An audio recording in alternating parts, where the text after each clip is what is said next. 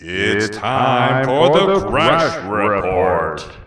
Thanks for watching today. There seems to be a lot of questions about Chase Sexton and his crashing when he's leading races. Today we're going to take a look at it. Is it bike? Is it rider? Let's find out. Let's study last week's footage and see what we can find. We're looking at a sequence of riders coming over the same jump where Sexton crashed. If you notice, most of the riders are tapping the top of the jump with a back tire.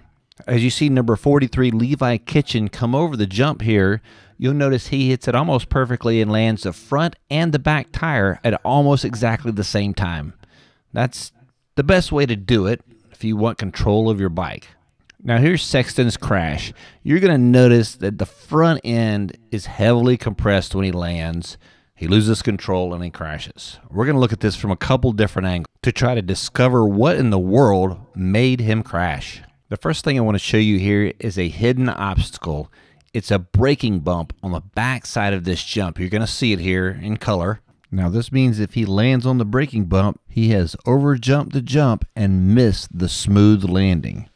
And watch when his front tire hits it how hard it reacts. Then the back tire comes right down on top of it and then reacts again. The braking bump has reflected the tire off the ground. Look close. This is similar to casing a jump, which has thrown all of his body weight forward. Boom, there, the tire extends, and he's off to the races. well, sort of. Okay, last angle. This is Jett Lawrence on the left, Chase on the right. Notice they're both in the air, neutral body position, right foot off the pegs.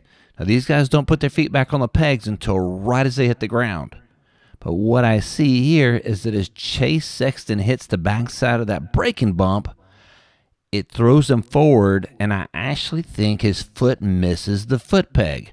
He's got blue boots, so it's kind of easy to see. His foot moves a little bit farther forward, which means he could have landed on the rear brake at the same time he hits the braking bump or he could have also just run over his foot. I'm sorry the footage isn't any better. This is the best I could find to edit and take a look at this. They had neutral body positioning in the air, but now you see Chase is much further forward, arms are bent, and Jett is still very neutral. So the big question everybody's asking is it the bike or is it the rider? Well, in the post race interview, Chase said, I hit the jump the same way I hit it every lap, and this is what happens. So if you gave me a gavel and this information, I would have to say it was the rider's fault because he's not able to make changes to meet the track as it develops. Webb is really good at this.